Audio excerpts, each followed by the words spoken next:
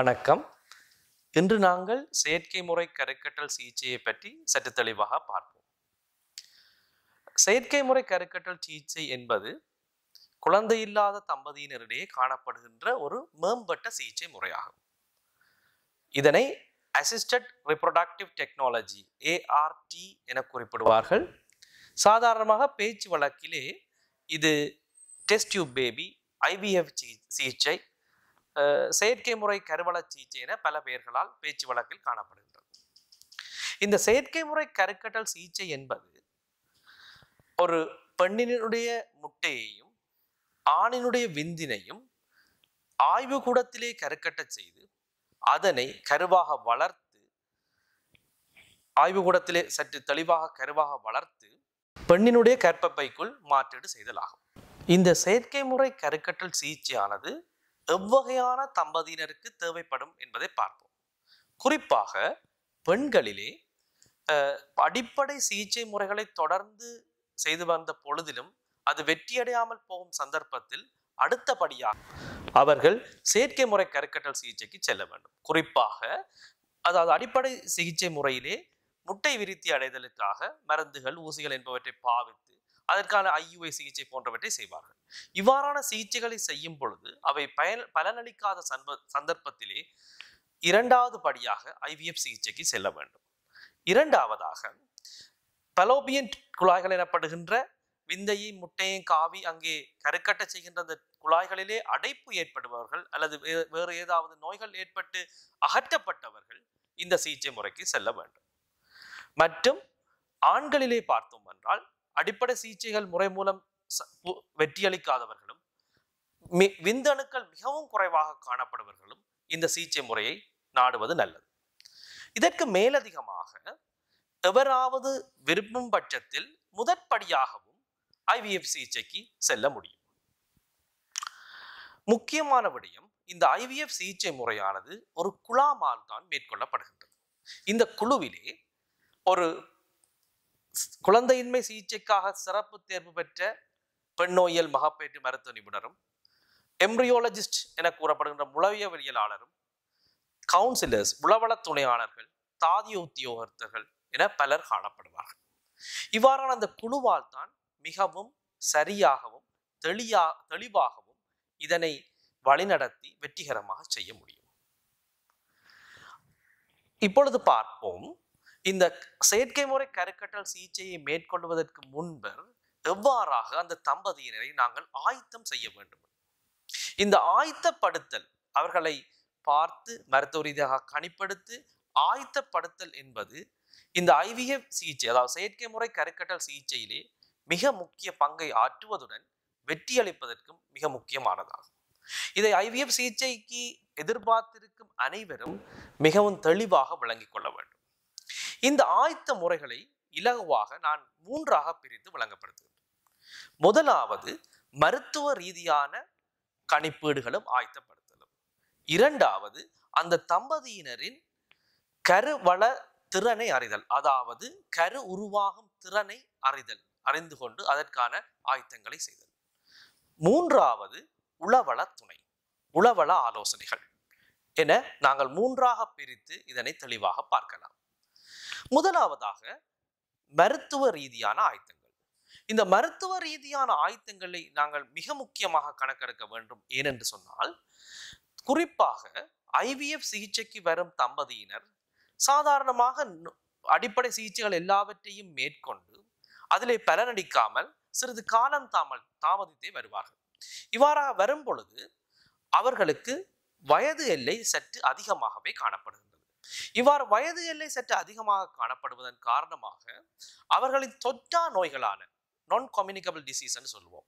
தொற்றா நோய்களான diabetic pressure heart வருத்தம் தைராக்சின் போன்றன ஏற்படுகின்ற வாய்ப்புகள் ஏற்படுகின்றது அப்ப இவ்வாறான நோய்கள் இருக்கின்றனவா என்பதை நாங்கள் முன்பே ஐவிஎஃப் சிகிச்சை ஆரம்பிப்பதற்கு முதல் முன்பே மிக தெளிவாக அறிந்து கொள்ள வேண்டும். அவ்வாறு காணப்படின் அதற்குரிய நிபுணர்களின் ஆலோசனைப்படி அவற்றுக்கு தீர்வும் காண வேண்டும். இவ்வாறு தீர்வு காண்பதற்கு இரண்டு முக்கிய விடயங்கள் இருக்கின்றது. ஒன்று அதாவது ஐவிஎஃப் சிகிச்சையில் இவை வந்து மிகவும் பெரிய பாதிப்பை ஏற்படுத்துவதன் காரணமாக சிகிச்சையின் வெற்றி வீதத்தை குறைக்கலாம். இரண்டாவது இச்சிகிச்சை வெற்றியடைந்தவர் கற்பமாகும் பொழுது அந்த கற்ப காலத்தை இந்த பெண் கொண்டு செல்லும் பொழுது இவ்வாறான பிரச்சனைகள் உதாரணமாக பிரஷர் உயர்குழுதி அமு அமுக்கம். சலரோகம் டயபெட்டிஸ் என்பன கர்ப்பகாலத்தில் மீண்டும் மீண்டும் மேலும் வளரும் பட்சத்தில் அவை மிகவும் பாரதூரமான விளைவுகளை தாய்க்கும் செய்க்கும் ஏற்படுத்தும்.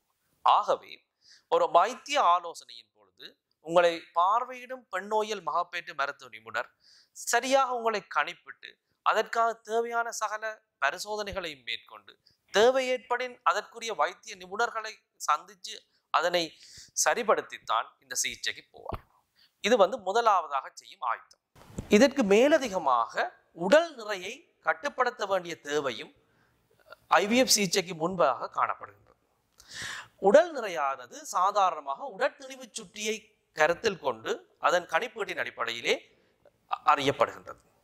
இதன் பொழுது சாதாரணமாக இருக்க வேண்டிய உடற்தெளிவு சுற்றியின் அடிப்படையில் இரு காணப்படும் சந்தர்ப்பத்தில் ஐவிஎஃப் சிகிச்சையானது சக்சஸாக வரும். அதாவது வெற்றியளிக்கும் வீதம் அதிகமாக காணப்படுவதுடன் அது சம்பந்தமான சில தொற்றா நோய்கள் ஏற்படாத சந்தர்ப்பங்களும் காணப்படுகிறது எனவே சரியான ஆரோக்கியமான உணவு பழக்கங்கள் மூலமும் உடற்பயிற்சியின் மூலமும் அதற்கான துறை சார்ந்த நிபுணர்களின் ஆலோசனைப்படியும் உடல் நிறையை குறைத்துக் கொள்ளுதல் மிக முக்கியமாக விடயமாக காணப்படுகிறது இரண்டாவது விடயம் அந்த தம்பதியினரில் கரு உருவாகும் திறன் ஃபர்டைல் பொட்டென்ஷியல் அறிந்து கொள்ளும் முறையானது.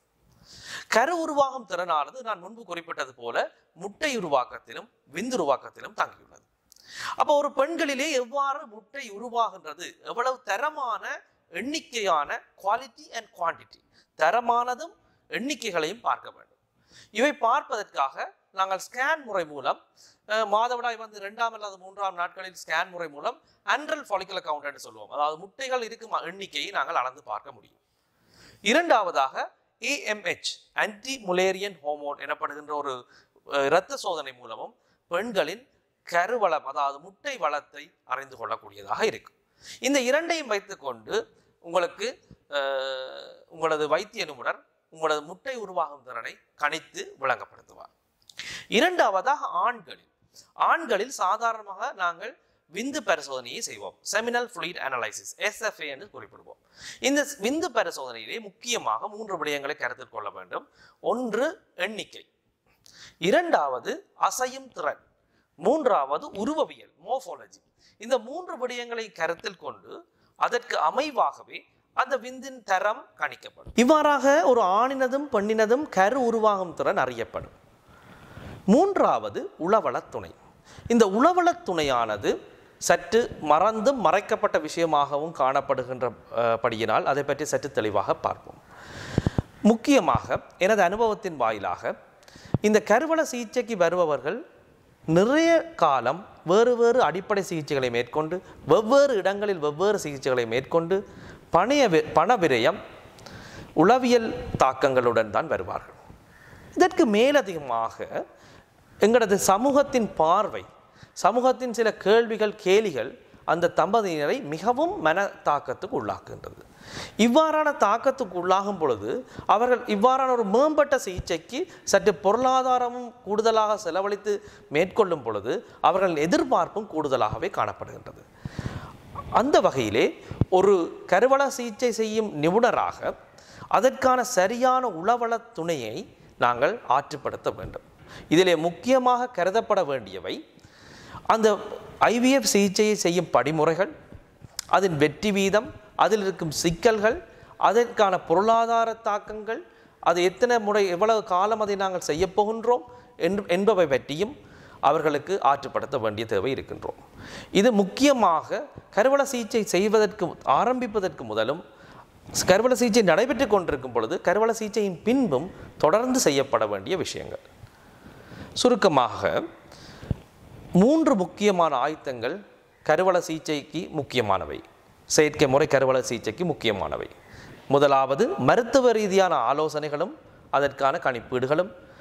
இரண்டாவது தம்பதியினரின் கருவள திறன் உருவாக்கும் தன்மையும் அதற்கான சிகிச்சை முறைகளும் மூன்றாவதாக உளவள ஆலோசனை. வணக்கம். இந்த யூடியூப் சேனல் மூலமாக நிபுணத்துவம் வாய்ந்த டாக்டர்ஸ் இணைந்து கொண்டு உங்களுக்கான வைத்திய ஆலோசனைகளையும் மற்றும் உங்களுக்கு இருக்கக்கூடிய சந்தேகங்களுக்கான விடைகளையும் வழங்குறதுக்கு தயாராகவே இருக்கிறாங்க. அதனால மறக்காம இந்த யூடியூப் சேனலை சப்ஸ்கிரைப் பண்ணுங்க. கீழே இருக்கிற பெல் பட்டனையும் ப்ரெஸ் பண்ணுங்க.